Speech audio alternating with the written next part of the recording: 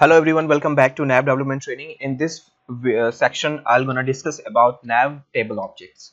So throughout this uh, section i will cover following topics.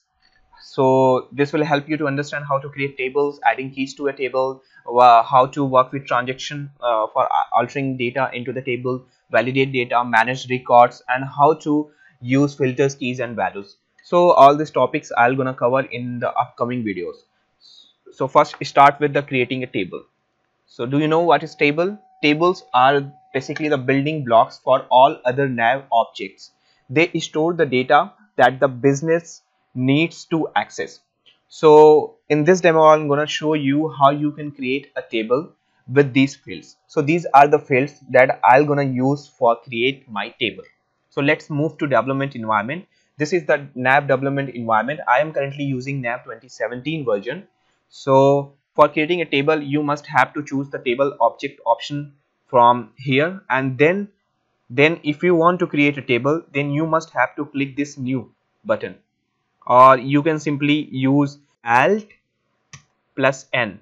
So this will uh, move you to a table designer page. Here uh, you can create your all the fields that you required for a table. So write your all field names into the table designer. As I showed you I want a table with five fields. So integer another one is document number. I choose code type and the length is 20 third one is description. Preferred text. The length of this is 30 another is value. Type is decimal.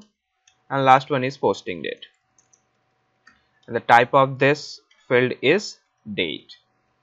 So i am done with uh, declaring the fields into the for this table. Now after uh, declaring all your uh, columns into the table you must have to save your table. You can use this option under the file save or you can just press Control plus S command. So now uh, it is very important to give an ID to your table. I just want to give 50,001 and the name is example table. Here another option I choose, uh, I also want to uh, compile this table. So while compiling I want to check or validate this table is okay or not if the table is accessed into the database already with this name so I am unable to uh, create the table with this ID or name. So I want to uh, validate this table. So I just choose now with validation and then click OK.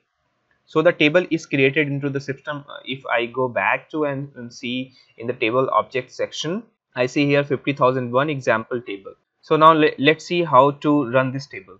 Just select the table and hit run. And now this is the actual view of my table.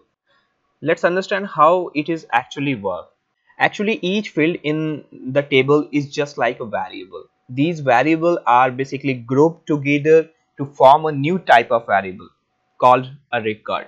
Record a record is basically a, a collection of uh, several variables or fields that contains uh, meaningful data. So the field definitions provide the structure for all of the tables as well as the data in them inside the system. The data type of your fields can be almost anything. In this example, I created five fields of the most common types. Here uh, basically a one uh, very important note I want to tell you if you do not specify a key manually into your table, the field you have placed in the field number 1 will act as the primary key for your table. Here what is the field number 1? The entry number is the field 1. So this is actually act as a primary key. So what is the basic property of primary key? Primary key always unique. So I just uh, enter 0 into the entry number, document number test, something here posting there today. Okay I again put the entry number 0 some information some information posting date today. And if I press tab want to enter another record in this table. So the pop-up is uh, come with a error. The record already exists. Because the entry number here is the primary key. If I uh, make it 1 then everything looks fine. Again I try to enter some values but you find an again an error message here. The record already exists. So so this is the actual proof of how the field number one is actually act as a primary key for your table. I hope you enjoyed this video.